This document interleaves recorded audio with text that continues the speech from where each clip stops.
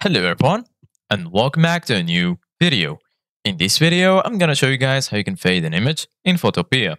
So if you guys want to learn how to do it, just follow the steps that I'm gonna show you. As you can see guys, I'm right now in Photopea and this is how the homepage looks like.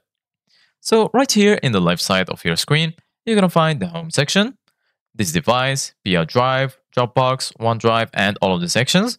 And right here in the center of your screen, you're going to find these three options, New Project, Open from Computer, and Template.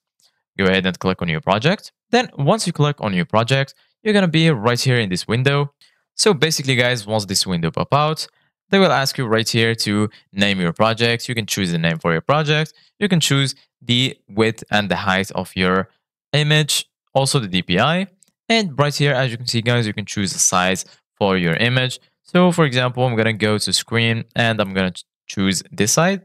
Right here, as you can see, guys, you're going to find some templates that you can use for your project. So right now I'm going to click on create.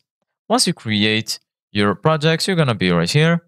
So basically, guys, the first thing that you need to do is add an image. So I'm going to go to file, go to open, and then I'm going to choose an image from my computer. For example, I'm adding this one. So basically guys, once you add your image, right here as you can see guys in the left, you're gonna find all of the tools that you will need in order to customize your image.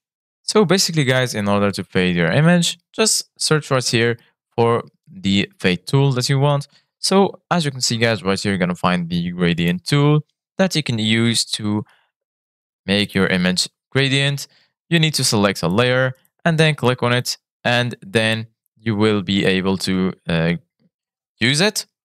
Right here also, if you go to filter, here as you can see guys, you're gonna find a lot of tools that you can use. Right here, as you can see guys, you're gonna find the blur.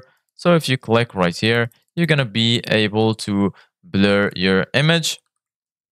And once you finish, just go ahead and click on file and make sure to save your image. Thank you guys for watching. See you guys in the next video.